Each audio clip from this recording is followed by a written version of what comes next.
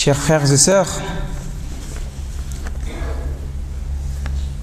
toute personne raisonnable, toute personne sensée et intelligente sait qu'il y a des choses, qu'il y a des voies, qu'il y a des chemins à emprunter pour équilibrer sa vie, pour se voir épanoui dans sa vie, mais aussi et surtout pour s'éviter la perdition et éviter d'aller à l'encontre de ce qu'Allah subhanahu wa ta'ala lui a interdit dans le seul but de le préserver. Et il en est de même. Tous ceux qui sont censés savent les moyens et les voies emprunter pour être heureux. Il y a des choses, tout le monde est unanime, que quand on les fait, eh bien, c'est pas bien pour nous et c'est pas bien pour la société. Il y a de ces choses, tout le monde est d'accord, il y a unanimité sur le fait que en faisant ces éléments, en faisant ces choses, en empruntant ces voies et chemins, eh bien c'est pour le salut des individus et des peuples. Mais parfois, chacun a sa propre définition de son bonheur et par conséquent, les voies et les moyens à suivre pour avoir ce bonheur, avoir cet équilibre et se voir épanoui dans sa vie. Il y a, en fonction de la définition du bonheur et de l'épanouissement qu'on se fait, eh bien, on va définir les voies et les moyens qui nous permettent d'y arriver. Si notre définition du bonheur est biaisée, si notre définition du bonheur est erronée, forcément, la définition des moyens pour y arriver seront aussi erronés. C'est pour cela, quelle que soit l'intelligence, quelle que soit la logique et le raisonnement d'un individu, en tout cas en tant que croyant, nous sommes convaincus que nous ne, nous ne pouvons pas nous passer du Créateur. Nous ne pouvons pas nous passer de ce qu'Allah subhanahu wa ta'ala, notre Créateur, nous a montré comme voie pour avoir cet équilibre, pour avoir cet épanouissement et pour voir euh, ces sociétés et ces peuples vivre dans une harmonie. Nous ne pouvons pas nous passer de la révélation. Nous ne pouvons pas nous passer du Coran et de la sunna du prophète sallallahu alayhi wa sallam. C'est dans ce sens que le prophète sallallahu alayhi wa sallam, puisque l'objectif majeur de la révélation du Coran et de la sunna est de nous permettre d'être en harmonie avec nous-mêmes et par conséquent être en harmonie avec le Créateur, il nous montre, non seulement il nous définit ce qu'est véritablement le bonheur, l'épanouissement, mais aussi et surtout il nous montre les voies et les moyens à emprunter pour pouvoir atteindre cette, ce bonheur. C'est dans ce sens que le prophète sallallahu alayhi wa sallam nous enseigne qu'il y a trois choses qui font périr l'individu et feront périr les sociétés si les gens qui forment cette société sont caractérisés par ces trois choses.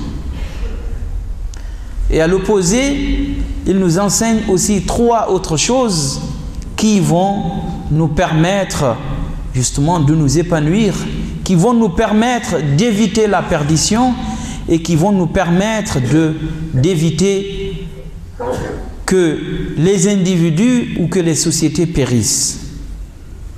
La semaine dernière, nous évoquions un des éléments qui font périr la fierté exagérée. On en parlait la semaine dernière. Le fait d'avoir une fierté déplacée, le fait de se voir toujours haut, le fait de se voir toujours avoir raison, le fait de toujours se voir à la hauteur des choses spirituellement, culturellement et au niveau de la société, le fait de se voir toujours eh à la hauteur des choses. Cela pousse l'individu au manque de la remise en question de soi-même.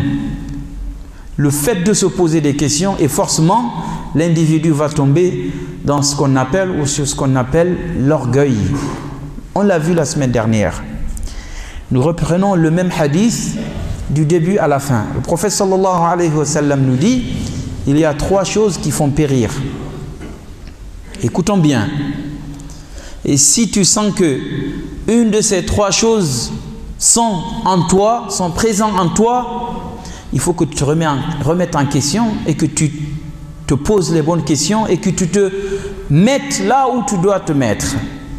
La première chose, shuhun muta'a. regardais les traductions, nous disent c'est al-bukhlu, l'avarice.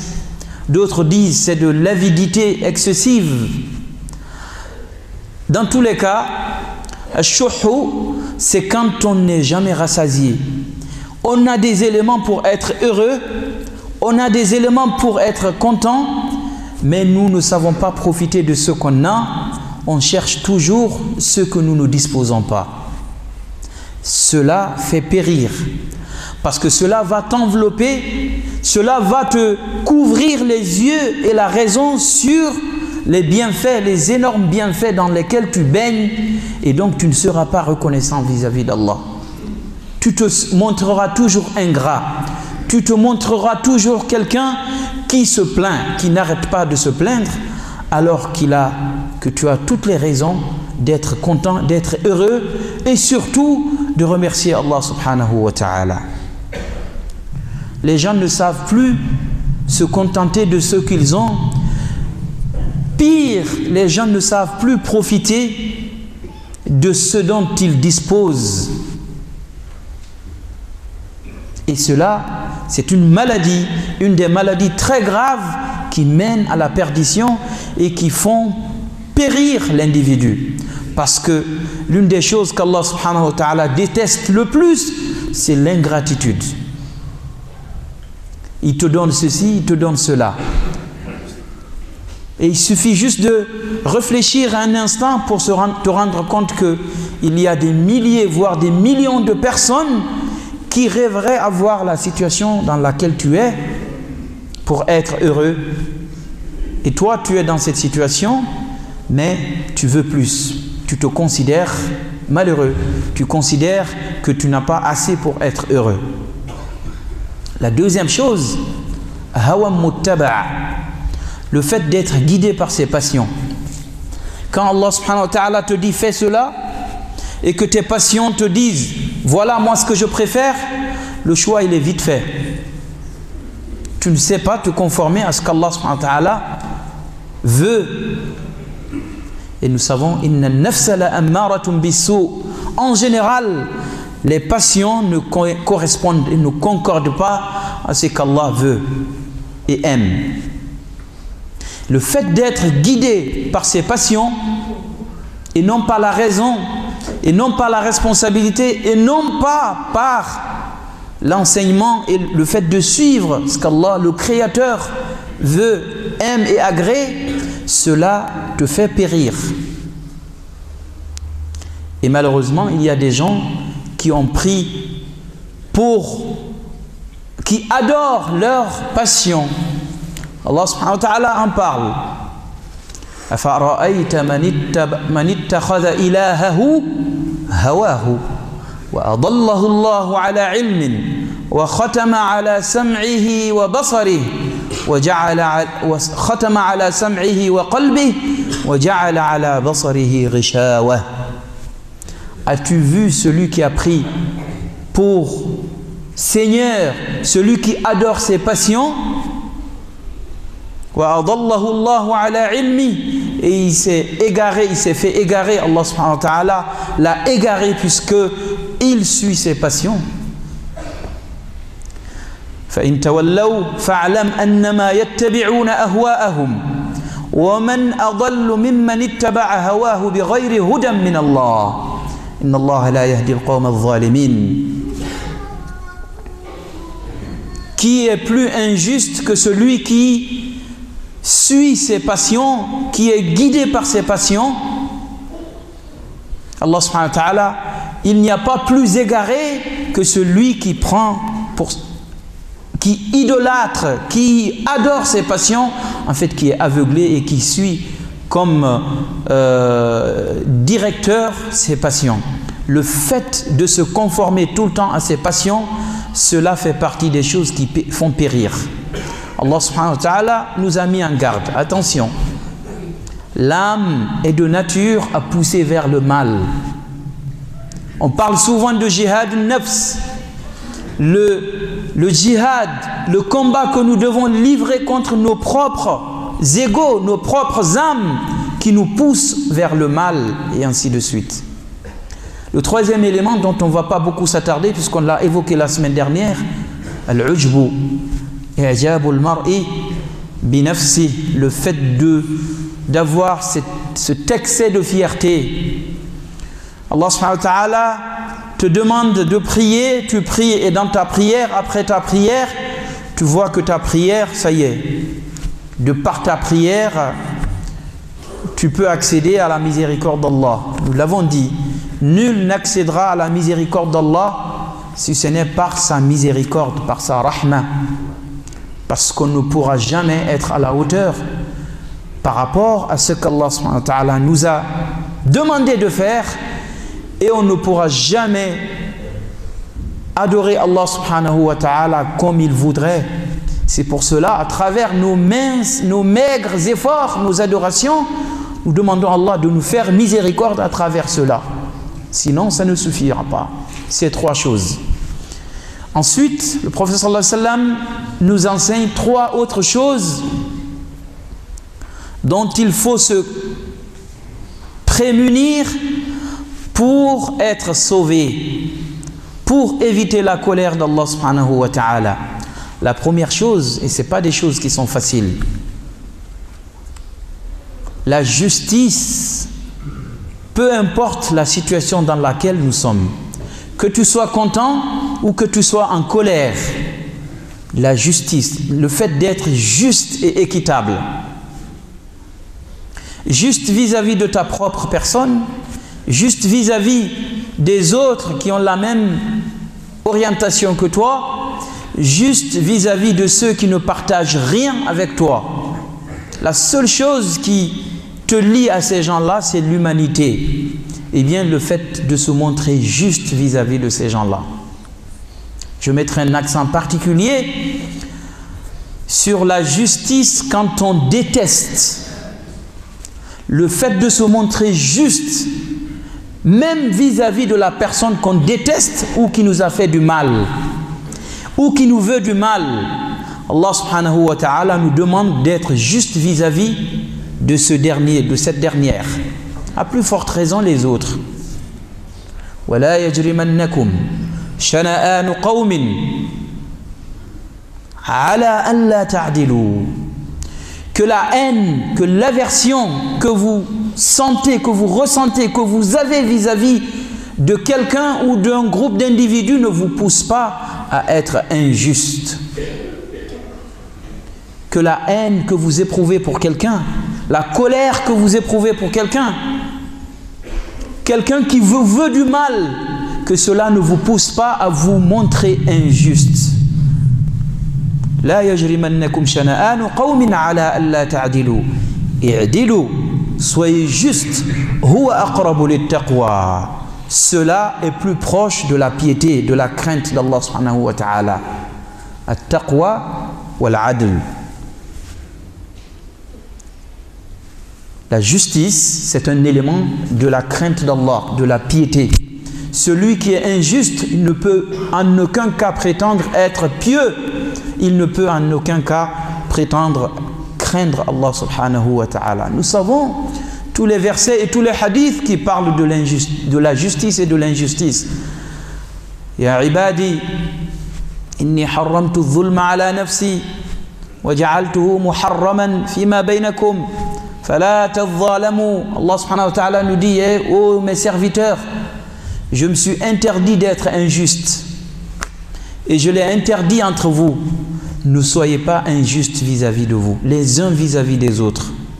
Le fait d'être juste, quelle que soit la situation, même quand tu es énervé, même quand tu es en colère, même quand tu n'aimes pas quelqu'un, même quand quelqu'un te veut du mal, la réponse que tu dois lui envoyer doit toujours être juste et non pas disproportionnée. La deuxième chose, القصد في الفقر والغنى والقصد في الفقر هو يعني الصبر والقناعة أما القصد في الغنى هو الشكر والاعتدال وعدم الإسراف le fait de se montrer raisonnable que tu sois pauvre ou riche être raisonnable quand on est pauvre c'est d'avoir la patience et de se contenter de ce qu'Allah subhanahu wa ta'ala t'a donné et de le remercier. Puisque quoi qu'il en soit, tu baignes d'une manière ou d'une autre dans les bienfaits d'Allah subhanahu wa ta'ala. Et être raisonnable quand tu es riche, quand Allah subhanahu wa ta'ala te, donne, te dote de biens matériels, la première chose c'est d'être reconnaissant, remercier Allah sur ses biens et surtout d'utiliser ces biens dans ce qu'Allah aime et agrée et d'éviter le gaspillage et de dépasser les limites dans les dépenses. Le prophète sallam nous dit il s'est émerveillé, il s'est étonné de la situation du croyant. Ajaban amri mu'min inna amrahu je m'étonne, je suis émerveillé de la situation du croyant, du musulman, du croyant sincère. Car quelle que soit la situation dans laquelle il est, eh bien, c'est un khair, c'est un bien. Si un mal le touche, il est éprouvé par des difficultés, il patiente. Et cette patience sera la meilleure chose, la meilleure attitude à avoir.